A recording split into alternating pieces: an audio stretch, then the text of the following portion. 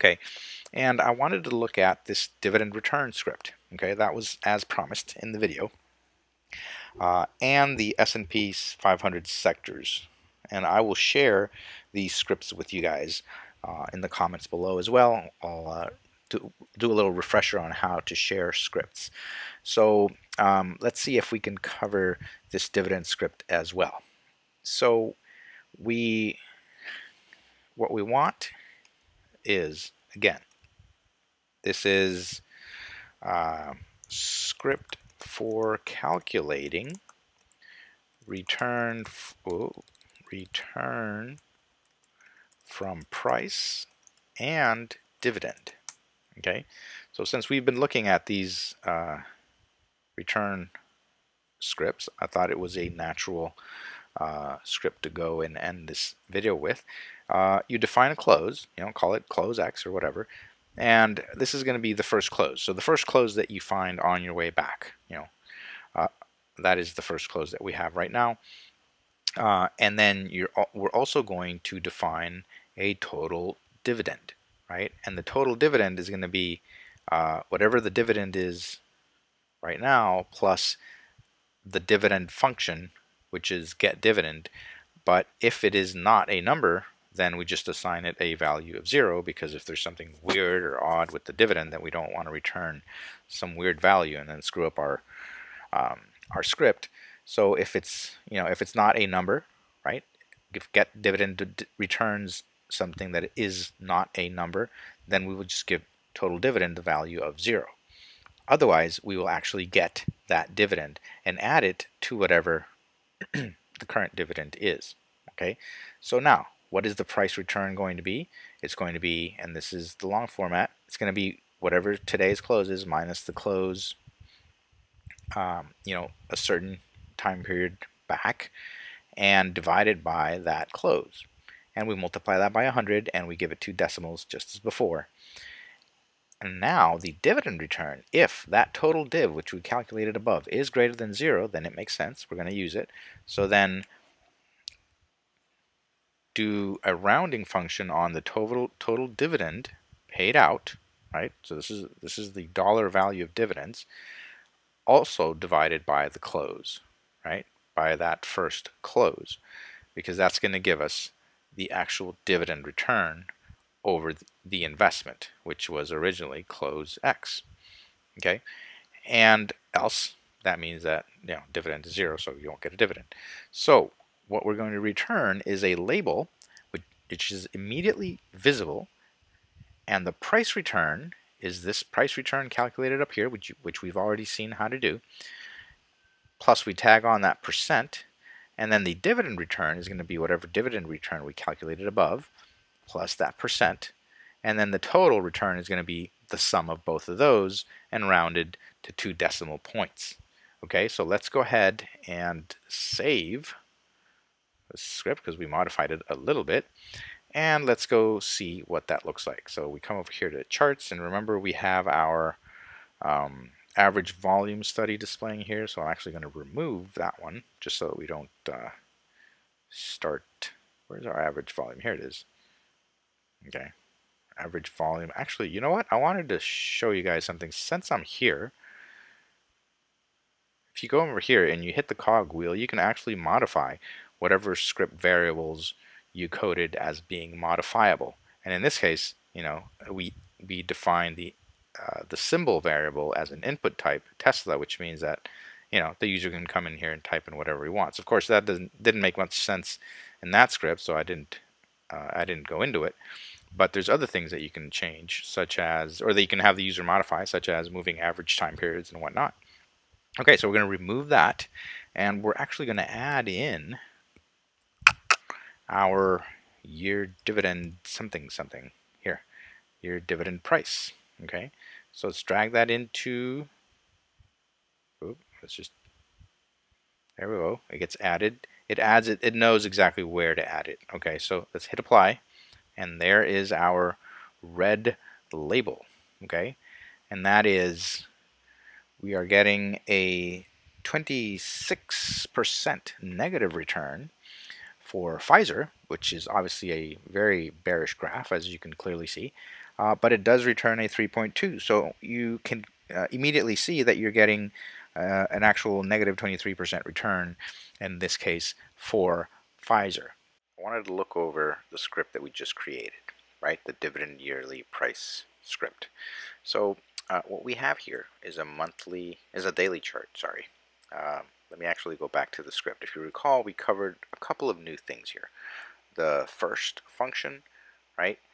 Uh, and this rec, or which stands for recursion, right? So you can right click over here on this first function and then go down to info and it'll tell you what it does. It returns the value of the parameter expression in the first bar, okay? Uh, and what that does is it's actually going to look at the close and it's going to look at the first bar uh, close value for whatever time frame you are looking at. All right, and that makes it different from our previous scripts where we actually hard coded, if you will, the number of, um, of bars that you wanted to go back and look. So this is a little bit more dynamic way to, uh, to code uh, in ThinkScript. All right, so um, we're looking at the first bar, if you will, on a daily chart would be a daily bar, on a 15 minute chart would be a 15 minute bar, on one hour chart would be a one hour bar, so on and so forth.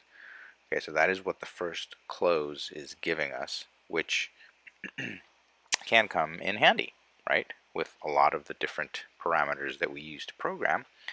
Uh, that is what uh, the first function does. All right, and um, the other thing that we looked at was the rec, which is the recursion one. Okay, and recursion goes back and uh, does the same thing. It looks for it. It does, uh, let's say, it carries out a particular function um, in the past of historical values, right? And uh, eventually we'll get to the fold command, uh, but this is a similar way to go back and get data and uh, but in a little simpler way because the fold function actually allows you to do some calculations and include conditions and other variables and whatnot. Um, the recursion one is, is a little bit simpler because it just goes back and fetches some values. So the recursion, we used it for the total dividend, right? Uh, which is different. What we wanted to do was not just, you know, get, you know, the the first bar close here and then the no one now but we also in the total dividend we wanted to recurse back if you will um, right so we wanted to go get historical values uh, or reference historical values which in this case were dividend values uh, which were given to us by the get dividend function right so uh, we basically uh, went back in time and we got the historical dividends right the ones that are within this time frame window that we're looking at. That is what the recursion function does. All right, so um, we now calculate the price return and the dividend return, right, based on the data that we have collected so far, and we plot it on the chart. This is what it looks like.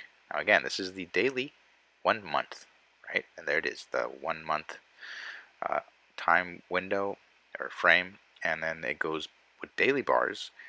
It you count back 1, 2, 3, 4, 5, 6, 7, 8, 9, 10, 11, 12, 13, 14, 15, 16, 17, 18, 19, 20, 21, 22, 22 bars. So there's 22, you know, uh, bars here in this month that uh, that it is counting. And if you notice the price return label up here, we're return we're returning an actual positive return, which is 0.87%, right? And the dividend return is zero because there has been no dividend in this, in this time window, and the total return is obviously then going to be just the 0.87 given to us by the price return. What that means is, is this, uh, if it opens here at 3704, right, uh, that would be our starting price, 3704 for this window, and it goes up to about here, which is 3721.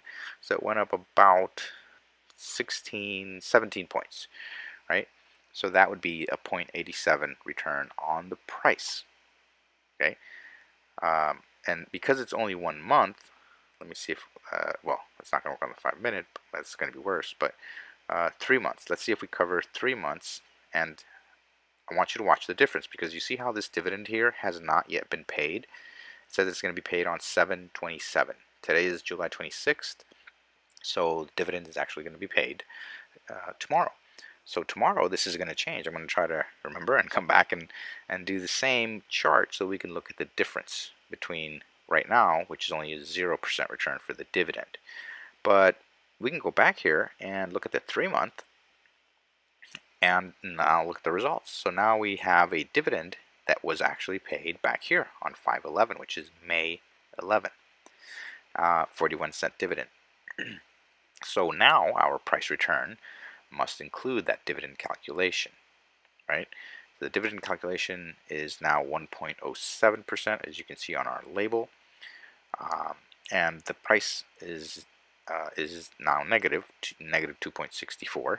So if it weren't for this dividend, we would be in worse shape than we are, so to speak, because now instead of the negative 264, 2.64% uh, from the price, we only have negative 1.57, I think it is.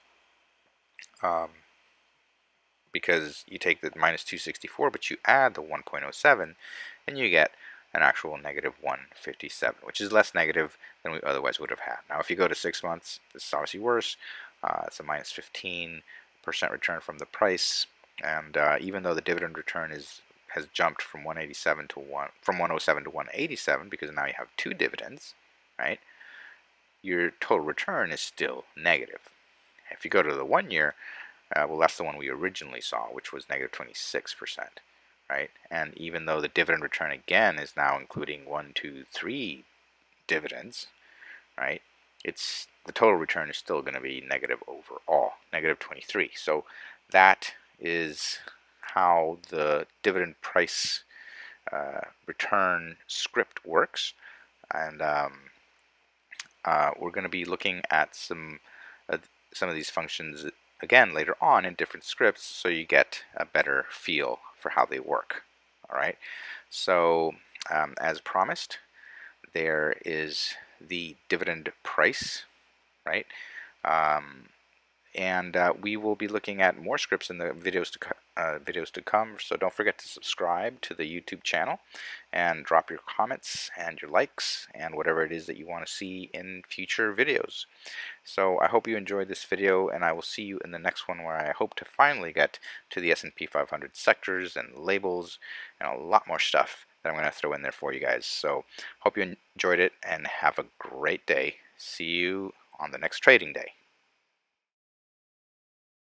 Hey guys, so I did remember, and here we are, looking at Pfizer again, and remember I was going to update you on the dividend return, which was the uh, script that we made earlier, and as you can clearly see, now the price return is uh, 53, that's lower because it dropped somewhat, as you can clearly see today, uh, but the on the plus side, we now have a dividend return of 114 because today uh, dividend was paid.